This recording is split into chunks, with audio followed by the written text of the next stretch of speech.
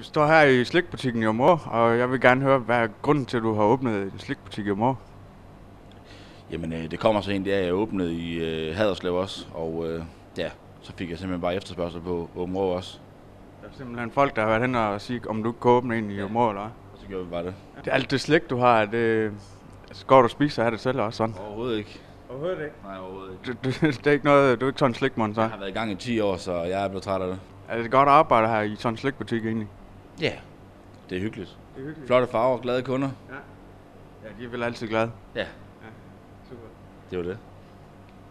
Jeg kan også se, at du sælger en masse drikkevarer og sådan lidt af ting. Øh, er, er det meningen, du skal være i isbutik også godt, eller sådan noget? Ja, vi sælger rigtig mange is. Is? Øh, ja, is og milkshake, popcorn, bacon, snacks, candyfloss.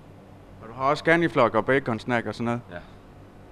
Hvad med gammeldags is? Er der også noget, du vil ind for så? Vi har masser af gamle is deroppe Ja. i vores iscafé. Hvad, hvad er grunden til, at du egentlig er gået ind i slikbranchen som sådan? Jeg kan huske, at dengang, da jeg var barn, der var rigtig mange slikbutikker. Så døde de i en årrække. Og så tænkte jeg, det kan simpelthen ikke passe. Det må der være, være marked for igen. Og så åbnede jeg.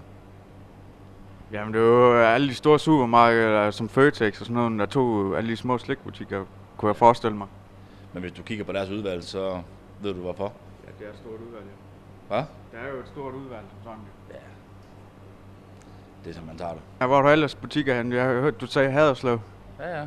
Og så har vi været i gang i Horsens og Esbjerg og Kolding. Og nu skal vi snart videre til Fyn. Skal videre til Fyn? Odense måske? Nej, vi skal til Middelfart og Assens. Middelfart og Assens.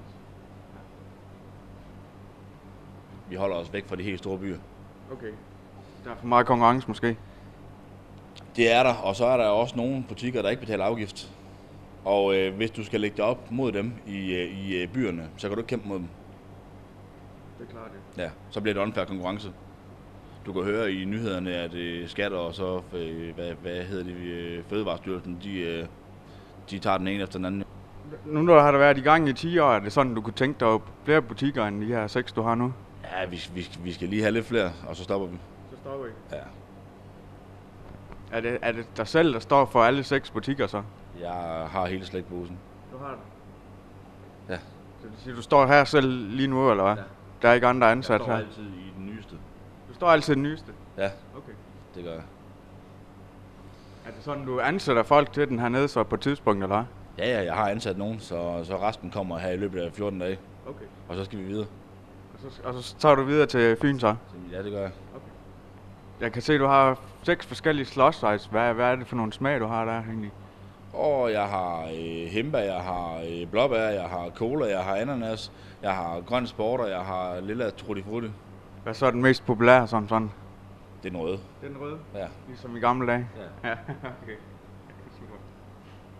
Jeg siger mange tak i hvert fald. Selv tak.